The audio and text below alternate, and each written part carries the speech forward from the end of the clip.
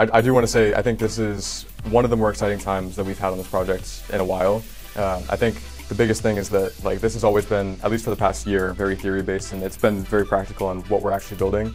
Uh, and everyone here is here because they want to do rocket science in some way, right? This is the first time in over a year that we're going to be able to actually go out and hopefully see that. Hi, it's 11:47 uh, Friday, the day before we're going to FAR, or the day we're going to FAR. Uh, we're currently packing up the U-Haul, making sure that we have cold brew, the rocket, everything in here, um, checked off of our checklist before we go. So excited to head off to FAR.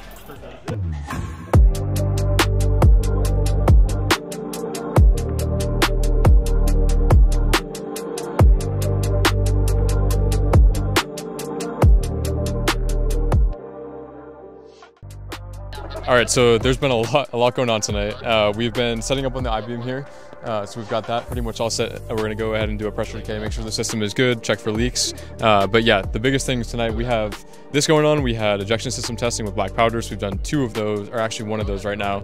Uh, we've done that. We had uh, igniter testing, so we did that. And then we also have our LNG fill operators. They just completed fill uh, to go and do that in Fontana. So big missions tonight. Uh, we got most of them done smoothly, so we're hoping that tomorrow goes just as flawlessly. Uh, but yeah, we got a, a, long night ahead of us, but we're excited for tomorrow. Uh, Victor? Yeah. Vaughn? Yeah. Mega? Tony? Yeah. So, yeah, we're gonna go over start instrumentation check. Um, we'll give walkies people who. Car. Oh, well, I was thinking the car. That's number one. the eggs? Yeah, yeah, Nothing is a one leaky motherfucker. Yeah. So. No, that was bad. Oh, yeah, I forgot we're using actual propellant now. That's kind of crazy. It was a compliment. You're big and burly, I guess. So we're, we're here in the morning uh, here at FAR and we're getting started on our procedures. Right now we're doing a pressure decay again uh, today.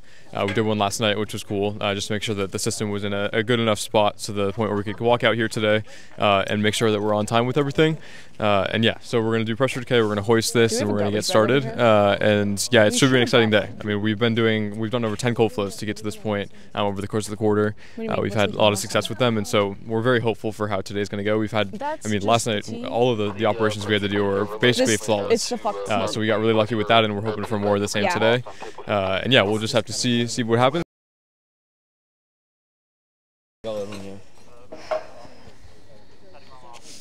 So so far, far has been really really cold and really really loud.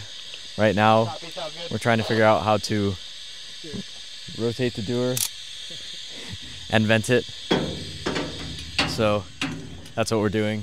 Um, but luckily, our trip last night went pretty well, uneventful, which is what we wanted. What time did you get in? 1:30 a.m. and then I went to sleep in my lab coat. Robert, you need to take this underneath the wire.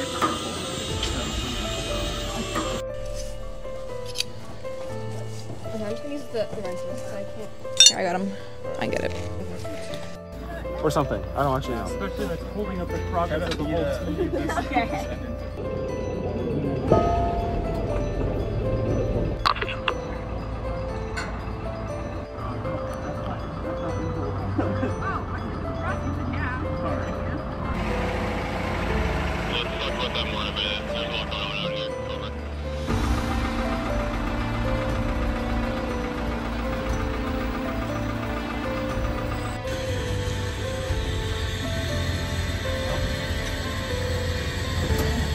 Over there, but we know now that U-Haul works and we have to figure out how to figure out.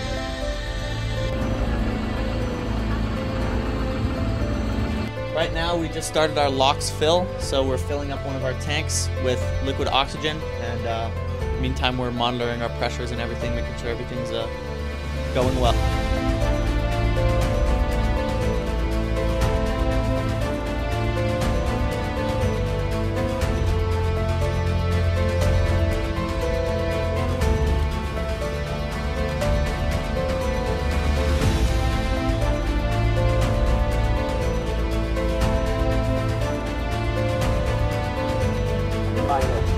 Ten.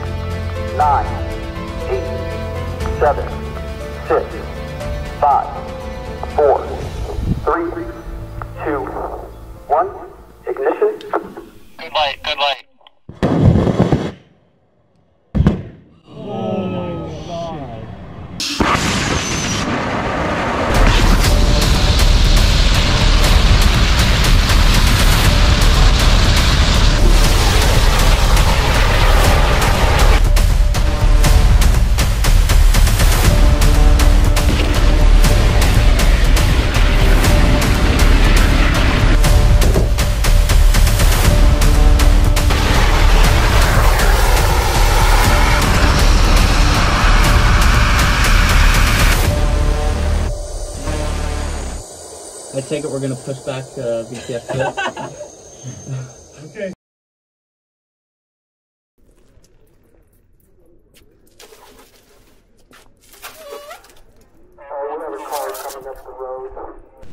I, I think like procedurally and what we did to prepare for this, I really don't think there's much more that we could have done to avoid what just happened. But we're gonna go over and we'll assess the system uh, and we'll figure out where we're at from there.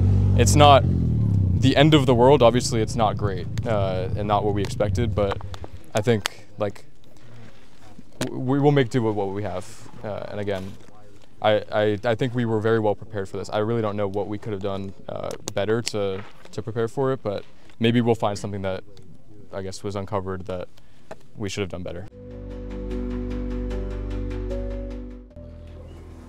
So after conducting our failure analysis for VTF-1, uh, we decided that the inner layer of the combustion chamber delaminated and that material plugged the throat of the nozzle, which caused the combustion to stop in our chamber. Um, and basically that led to a hard start of the engine, which caused the explosion that we saw.